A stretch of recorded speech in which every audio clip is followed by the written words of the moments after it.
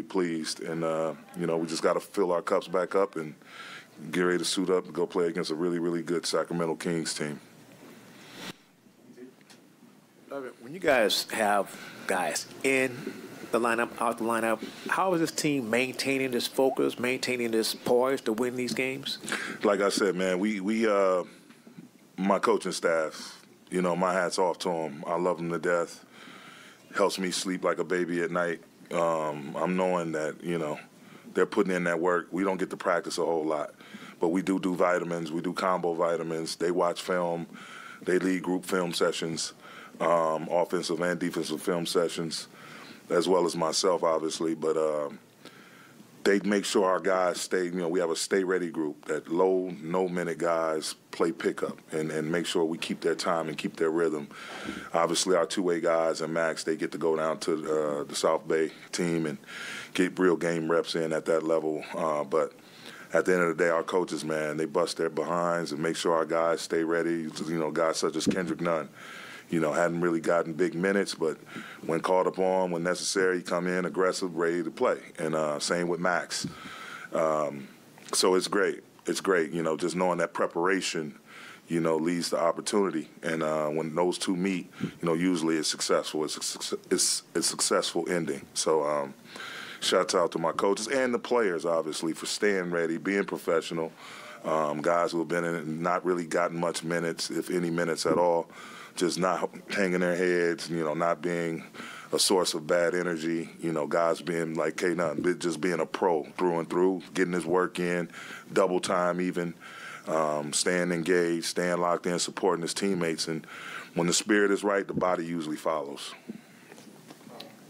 Uh, Darvin, you used the words running habits uh, more times than I really care to count, but in terms of tempo from the beginning of the season to, to a game like tonight, where I think you guys had 17 fast break points the first 14 minutes, how have you seen the group evolve, and what role um, do do Russ and, and LeBron, who obviously were, you know, going lightning fast off the defensive rebounds today, what role have they played in getting the team to, to shift there? I mean, just their willingness. Like, first of all, we have multiple guys that can get a defensive rebound and start to break themselves.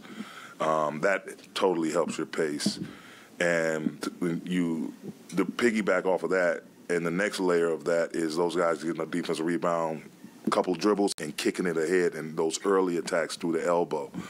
Um, our guys are running because they know they're going to get the ball. Um, and they know those opportunities with those running habits are going to open up lanes. If we, if we stay disciplined, we getting guys to the corner, those lanes between the lane line and the sideline, they're going to be open. There's going to be the, the, the, little space between the nail and the elbow, those are going to be open. So it's hard for a team to stop the penetration, to get in front of you solid enough to set a, uh, to, to, to, take an offensive charge. So um, I just think I attribute it to our guys just being able to get the rebound and push it and, and, and being willing passers to guys that's up the floor ahead of them. Hey, Darvin, given this long winning streak and all these habits you've talked about, how much in your mind does this feel sustainable knowing that AD's you know, still out for. I, I, think it's very sustainable. I think guys knowing that you know what AD brought to us, what he brings to us, what he's going to bring to us when he uh, comes back is is you know is motivating them to step their games up. And again, like I said, we, we they know I'll put anybody out there. Um, and, and, if they're playing the right way, they're going to get, you know, some. Um, I just think guys are coming together, and the, you, you're seeing guys communicating with one another before I even get to the huddle. You're seeing guys communicating each other as we're walking into the locker room to do pregame or walking into the locker room after postgame. They're not, you know, chatting about what's going on in society. They're chatting about the game, how we can alleviate mistakes, how can we get even better the next time around. So I just think everybody is pitching in you know, for, for our fallen soldier. And he'll be back in due time, but until then, you know, guys are stepping up and making plays. And then when he comes back and Lonnie comes back and Austin, these different guys, like it's just going to Troy, it's going to make us that much more strong and powerful and deep.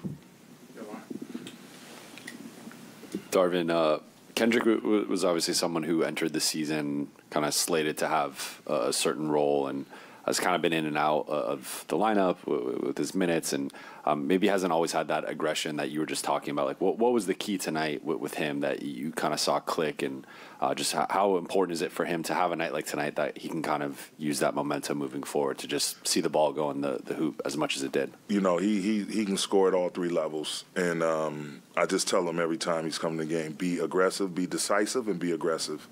And, um, you know, do what you're supposed to do defensively. You know, know your assignments. And he's done that. You know, tonight he had, you know, three def- defensive rebounds, which is great. Um, really got going from, uh, you know, all over the place offensively. And that's what he does. And, um, just just the way that kid is really stuck to his guns in terms of his preparation, his professionalism, and staying ready, uh, staying locked in with film. Uh, you know, one of my coaches, J.D. DuBose, he, he he watches one-on-one film with him, and he's all they're always engaged. They have a great rapport, as he does with all our coaches, and just again, just his spirit, knowing that you know, just keep working. It's a long NBA season. Your number's going to be called, so when it's called, you you, you might want never have to tell a guy like him that. Watching film, seeing how you can get better, and uh, you saw it tonight. Hey, Darvin. Um, Thomas Bryant's had some super efficient offensive games, but he's also had a couple of big blocks, or one in each of the past two games. I'm wondering what you've seen from him on that end, and and if there have been any adjustments by him or schematic adjustments that you want to point out. I just want Thomas to be his wild, active, crazy self. I, I love that kid. He brings so much energy, chatter. He covers. He cares about his teammates. He cares about trying to get what we're doing right, consistently. Um, great hands. I, again, I got to figure out a way to get him some post touches because he works so hard on the glass for us. Just got to figure out a way to throw him a couple of bones, you know. Um, but he's he's been a blessing. Like uh, all he's gone through, injury history and whatnot.